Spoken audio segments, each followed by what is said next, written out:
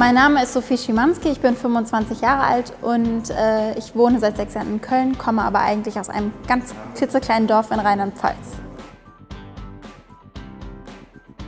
Ich habe jetzt gerade mein Studium an der Kölner Journalistenschule für Politik und Wirtschaft abgeschlossen. Das waren vier Jahre. Und äh, dual dazu studiert man noch VWL an der Universität zu Köln.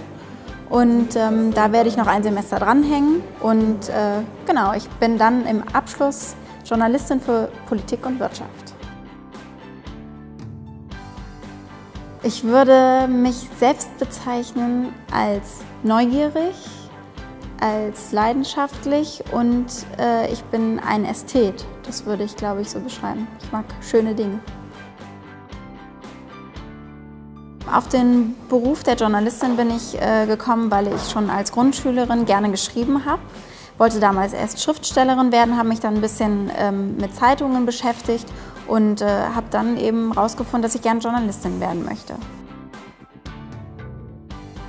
Ich finde, der Beruf der Journalistin ist insofern sehr spannend, als dass ähm, er mir Zugang zu Geschichten ermöglicht und zu Menschen, äh, den ich sonst nicht hätte.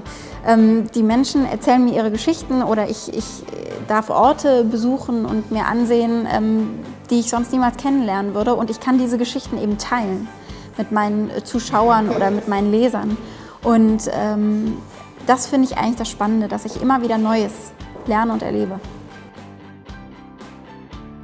Ich glaube, in zehn Jahren wird äh, die Schwierigkeit sein, Familie, die ich absolut haben will, mit einem Beruf zu vereinen. Und der Beruf soll, wenn es geht, äh, so sein, dass ich ähm, Politikjournalistin bin, am liebsten beim Fernsehen.